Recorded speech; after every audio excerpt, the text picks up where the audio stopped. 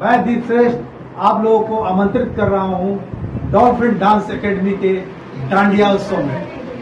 जी हाँ dolphin dance academy के dance, dandiya night चार और पाँच अक्टूबर को देवघर स्टेडियम में होने जा रहा है।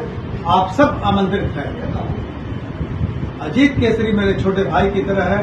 मैं अक्सर डॉल्फिन डांस एकेडमी के कई कार्यक्रम में आप लोगों के साथ रूबरू होता रहता हूँ। एक बार फिर डॉल्फिन डांस अकेडमी के चार और पाँच अक्टूबर को डांडिया खेलने ज़रूर आइए।